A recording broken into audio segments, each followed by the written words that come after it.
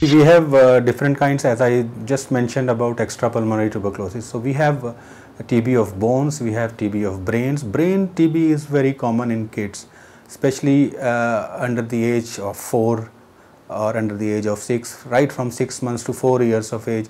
This is very common in uh, and this is one more most crucial uh, tuberculosis in which uh, kids do come with fever, with loss of appetite, with vomiting, with uh, neck rigidity, uh, with uh, sometime even with fits, the seizures. So this is one uh, ch- biggest challenge we have been facing, especially in the rural areas where the hygienes are uh, not very good, and uh, these kids they do suffer with the tuberculous meningitis.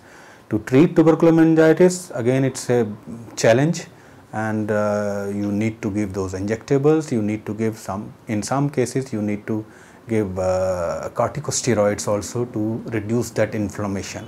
And it, it really helps. And then you need all the food drugs to treat them.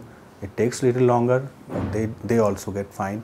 Maybe sometime you have the hemiplegia type of uh, pictures also.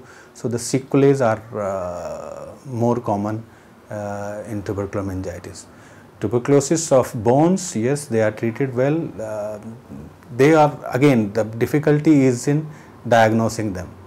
They are, a bigger challenge for us. And then the tuberculosis of uh, spleen or heart they are also bigger challenges for us uh, because most of the time they are very silent and uh, we just don't get into the root cause of the problem.